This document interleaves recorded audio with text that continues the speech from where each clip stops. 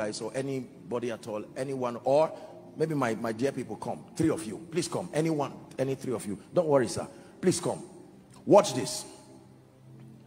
Stand here. Let me just use this as an example. Please you stand here. Please stand here. Please stand there. This guy is so well suited. Let him be God. I'm not saying God wears suit. He clothes himself in light. No, you stand here. Watch this. This is the final recipient. This is what he wants. Blessing, prosperity, increase, breakthrough, whatever it is. God desires to get it to him. But the way that he does is to pass through men. So you need two entities for the arrival of anything. God and the men that will allow him pass through. If God says yes and this man says no, your blessing will remain there. Now, most believers do not know this.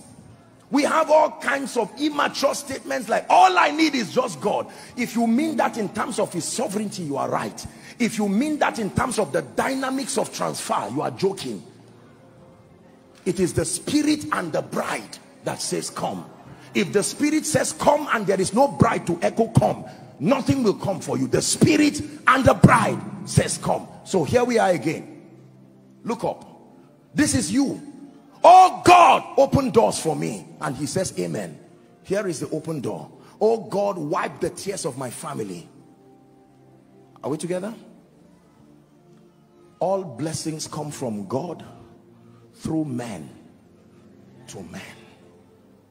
your job from god through men to men.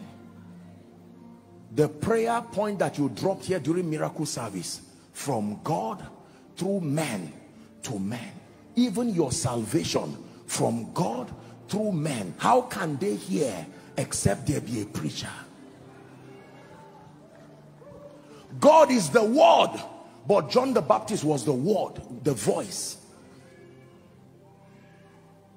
are we together now this is the second fundamental rule. You have to know this. So when you are praying, you don't only pray for God alone. You pray for men. And then you must master like you will be learning. Because if this man does not like you, and yet he's the one who will receive it from God, you are in trouble. When a man's ways pleases the Lord, there are men that are not castable. They are gatekeepers. God will grant you favor because they are the ones midwifing your blessings. So, God gives this man, please take. And now, you see that it has left God. But has it reached him? This is why many people are. You say, God, give me. Say, no, no, no. I've answered you since. I answered you since January. So what is the limitation?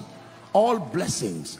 Because you do not know. This is why we teach things like the ministry of destiny helpers this is why we teach you the systems of advantage in the kingdom that connects you to the blessings of God. This is why we teach you things like law of honor. Now watch this. This man has this blessing already from God. This man's prayer has been answered. But if this man dishonors this destiny helper, dishonor is the key that closes the door for access. He can remain five years. It left heaven five years ago, but it never got to you because the man who will be used by God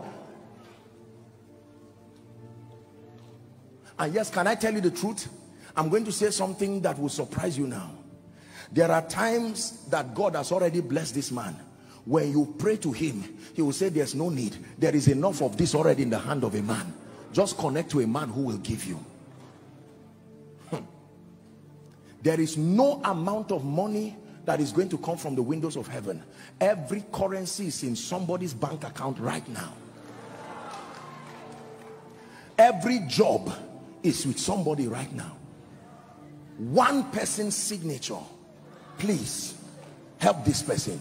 And the person will say it's not the english you are speaking i have a relationship i want to tell you something very sincere when god moved me to this city i was telling the dear students yesterday i found out i may be wrong I'm not speaking as a statistician. I'm speaking as somebody who used common sense to analyze. Can I be honest with you? I found out that over 50, 60% of the pathway to wealth in Abuja works by relationships. if you i may be wrong can i be honest with you? I've taught you this. In this kingdom who hates you does not matter but who likes you.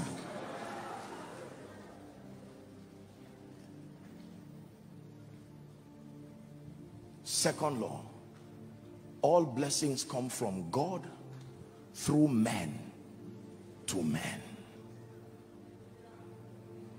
all troubles come from satan through men to men whether it is God walking or Satan walking men will be in between. So whilst you are praying I'm not only teaching you the principles that help you receive from God you must know what to do in this world of men. Because this world of men is a mysterious world. The heaven of heavens belong to the Lord but the earth has he given to the sons of men. If you don't know what to do with men you will suffer as if God didn't answer your prayer. Like many sincere people are suffering today the, the lifting power of men that when men a man steps into your life he can be used by God to change the entire financial climate in a moment. I can tell you this.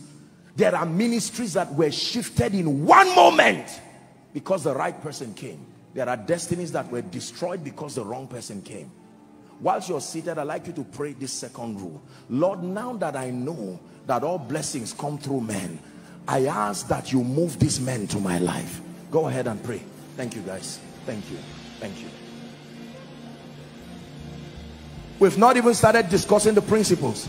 These are just foundational thoughts that number one all blessings come from God and belong to him.